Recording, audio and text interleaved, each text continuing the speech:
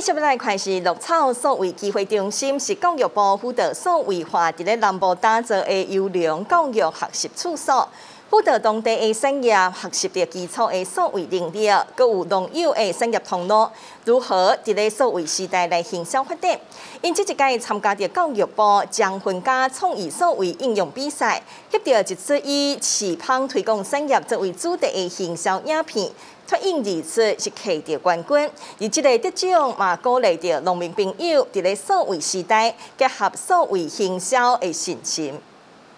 包括说有新的行销方式，各方面都是需要我们再去学习，要借由我们鹿草 DOC 的一些课程来精进我们的行销方式。我目前其实我们的产品也还蛮多的，我们自己本身都是自产自销的蜂王乳，还有我们龙眼蜜、荔枝蜜，还有百花蜜，那还有高山茶花粉，还有。油菜花粉、蜂蜡，还有蜂蜜醋一些相关产品，我们的产品都是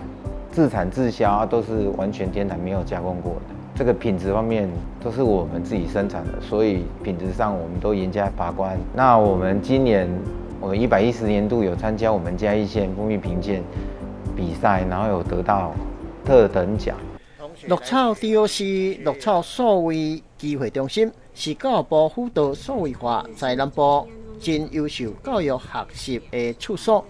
辅导当地乡亲学习数位基础，以及农友产业通路营销伫个数位时代发展。这次参加教育部将分家创意数位应用比赛，翕到一部以分家市胖推广产业营销的影片。脱颖而出，迄个影片组的冠军。我们成年人比赛啦哈，那我们也想说啊，就是一直都用我们同一个方式哈，帮助产业提升这样子的一个心，去制作这样子的影片。好，那会得奖其实也也蛮开心的，那也有点意外，想说哎，我们其实就是持续都是用同一个方式在制作，也不会特别想要得奖啊，但是呃受到一个肯定啊，对我们来讲也是一个很大的鼓励。那也会希望说，接下来有更多的产业能够啊，透过我们的协助帮助之下，能够做很多的优化啊，让整个产业的那种品质呢能够提升，这样子。两家地的产业甲通路再升级，绿草 DOC 合作在地小农产业营销甲发展，这项得奖也鼓舞了农友。在数位时代世界，结合数位营销、农教的信心。谢谢新闻蔡明东、陆朝香采访报道。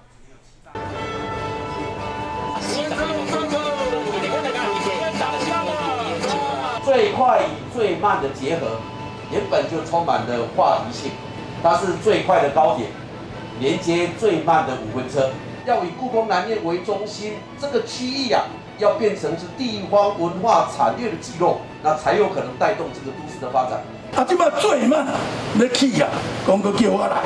我咧读中学的时，同学拢坐这咧上万岁啦，所以这要怀旧嘛，都爱有迄个旧的。你若要坐这个，都爱人家己，安尼才有意思啦。但我伫这大连，